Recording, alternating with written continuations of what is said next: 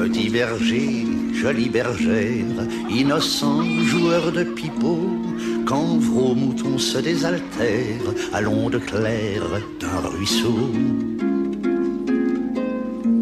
Dans les roseaux, dans les fougères, vous redoutez de voir le loup ravir un agneau tout à coup et l'emporter dans sa tanière.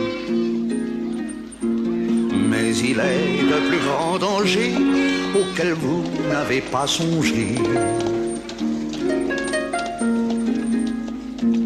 Il existe des bêtes pires que le tigre altéré de sang, plus funeste que le vampire et plus traître que le serpent.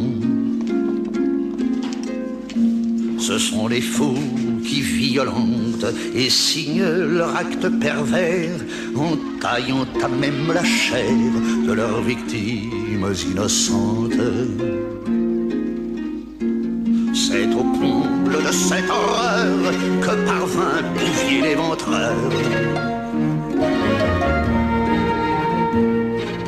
Bien de cette engeance, de trimardeur de cheminots, mendiant le gîte et la pitance, anarchistes et marginaux.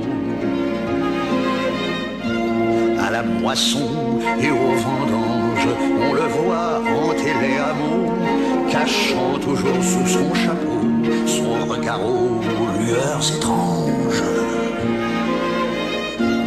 Il paraît pourtant bon garçon quand il joue de l'accordéon. Il fit ainsi un long périple, revenant parfois sur ses pas, commettant des crimes multiples jusqu'au jour où on l'arrêta. Alors il dit qu'en sa jeunesse, un chien enragé l'a mordu qu'un médicament a dû mettre son esprit en faiblesse. Par surcroît, c'était odieux, se mettant inspiré par Dieu. Pour que ma complainte finisse, j'attends l'issue du jugement. Dans notre pays, la justice ne se trompe que rarement. Bonnes gens, faites confiance aux enquêteurs, aux magistrats, au tribunal qui jugera celui qui fit trembler la France. En attendant que les geôliers veillent nuit et jour sur Bouvier.